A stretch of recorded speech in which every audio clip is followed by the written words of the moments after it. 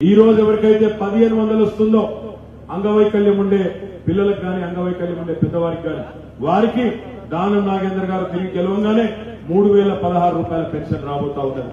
చాలా సార్లు బస్సులకు పోయినప్పుడు అక్కడ ఉండే పెద్ద మనుషులు అడుగుతారు కొడుక నాకు పెన్షన్ వస్తలేదు ఎందుకు వస్తలేదమ్మా? అంటే నాకు అరవై ఏళ్ళట అరవై ఐదుకి ఇస్తారట కొడుక అని చెప్తారు. అందుకే ముఖ్యమంత్రి కేసీఆర్ గారు ఆలోచన చేసినారు. చేసి అరవై ఐదున్న వయసును తగ్గించి యాభై ఎనిమిదేళ్ళ నుంచే రెండు వేల పదహారు రూపాయల పెన్షన్ ఇవ్వబోతున్న మన మాట కూడా ఇక్కడికి వచ్చేసిన మీ అందరికి కూడా నేను విజ్ఞప్తి చేస్తా ఉన్నాను. ఈ రోజు మనం రెండు వేలు అనగానే కాంగ్రెస్ వాళ్ళు కూడా ఎత్తుకున్నారు. మేము కూడా ఇస్తాం రెండు వేలు అంటున్నారు. ఒక్కసారి మీరు ఆలోచన చేయండి. ఎప్పుడు రెండు వందలు దాటని వాళ్ళు.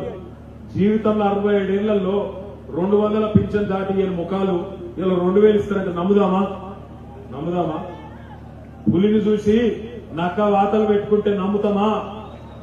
అమ్మకు అన్నం పెట్టినోడు చిన్నమ్మకు బంగారు గాజులు చేస్తారంటే నమ్ముతామా? నమ్ముతారా? ఆయన గొప్ప తీసినది అదే అంటున్నా మరి. అట్లా ఎప్పుడు మరి కుల్ల చెప్పాలి అటు కాదు. ఇప్పుడు మొన్న- మీరు విన్నారు అమ్మకు అన్నం పెట్టిన ఎందుకంటున్నా అంటే మొన్న పాపం సోనియమ్మ వచ్చింది మెడిసిన్. అరే రా నేను కూడా చూసిన కొద్దిసేపు మీటింగ్ నాకే పరిశాన్ అనిపించింది. ఒక్కొక్క కాంగ్రెస్ నాయకుడు మైక్ పట్టుకొని అమ్మా అమ్మా సొంత తల్లిని కూడా అమ్మ అంటారు లేదు గంతగా అమ్మా అమ్మా అని రాగాలు చూస్తుంటే నాకే ఆగమైన నేను బాంబు ఇది నిజంగానే మేము ఉన్నది ఇలా కథ అని. అంటే ఇంత డ్రామా ఉంటుందని చెప్తున్నా.